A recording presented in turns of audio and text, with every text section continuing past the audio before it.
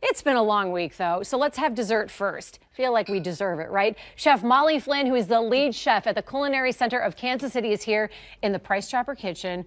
You are making something glorious, and it includes whiskey. We are. We're going to do a bread pudding with a whiskey cream sauce, and we're going to do the cherries and chocolate version this morning. We want to ask you, before we start cooking, about your childhood because you have the most interesting childhood. You grew up on a dude ranch, and your first job was cooking out of a chuck wagon on a cattle drive. So most people's parents saw City Slickers and thought, yes. wow, that was a great movie. My parents saw it and were like, we're going to do this.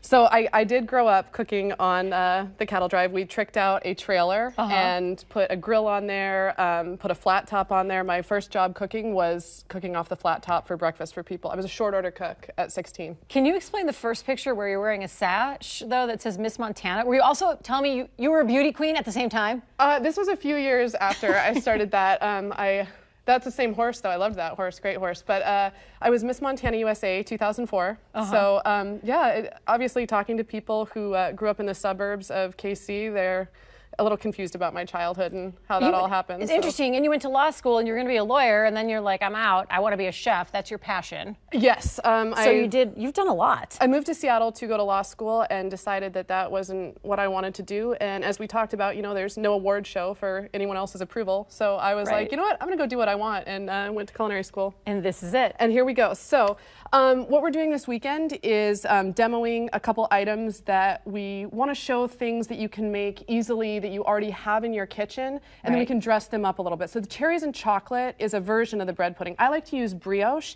Um, a couple ingredients that you need to have to make this are the eggs, and is then the brioche mandatory. One of the mandatory you ingredients. Can, the, the, idea is that you can use any bread that you have. And you just so, cut up a bunch of buns here. Yeah, and the, I got these brioche buns yesterday. Um, day old bread works a little better. It soaks up the moisture a little bit more. Mm. So the ingredients that you probably have in your kitchen that you can make this with are the eggs. And if I can have you dump in the heavy cream and the milk as I whisk.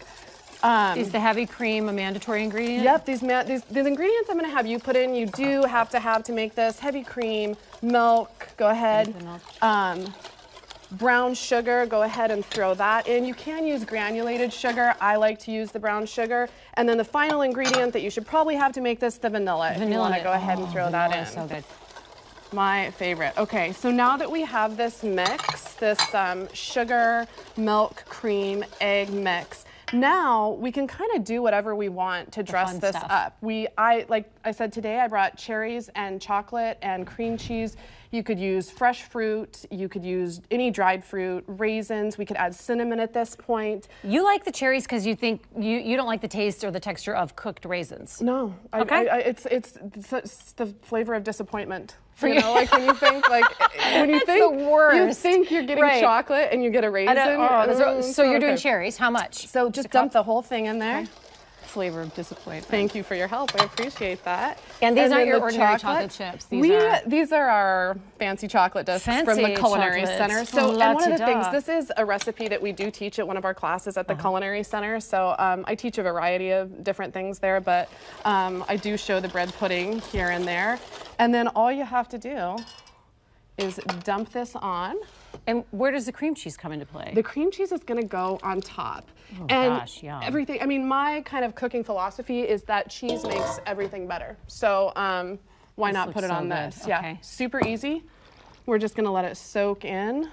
And again, like I said, using um, day old bread that's the key. Help. Yeah, because it soaks it up a little bit more. And we've got our pan that's already greased here, so we're just going to put that in. That and like I said, wonderful. we will be showing this Saturday. Um, I will be demoing this at 1 o'clock. At the upcoming Western Farm Show at the Kansas City American Royal. What is the Western Farm Show for the City Slickers in Kansas City? All right, this is the largest indoor farm show in the Midwest. And what the Culinary Center is going to do is called um, Make Ahead Magic. So I'm going to show you how to make things like this bread pudding and a potato gratin and a shepherd's pie that are simple ingredients that you have. And what we're going to do is just dress them up a little bit. Okay. Um, make them a little fancier. They're things that you can throw in your freezer. They're things that you already have in your house. So and if you don't, I'm sure the local grocery store has it. Chef Molly Flynn, thank you. You made the whiskey sauce ahead of time, so yes. there is the finished product. This looks incredible. Molly Flynn from the Culinary Center of Kansas City. Thank you. My pleasure. Comedian Jay Pharoah just arrived as well. We'll get to him in a moment. He wants the whiskey bread pudding. Look at this here. That's raw though. Don't eat that Oh, stuff. no, okay. I got one cooked for you. We got a cooked one for you, Jay. Warning: the whiskey does not cook out of this. So there No, is no, no, no. This is this is this. He's got a DD. Yeah, so, We're at the all right, end of a chilly, icy stretch of weather. So this morning we're going to have some fun with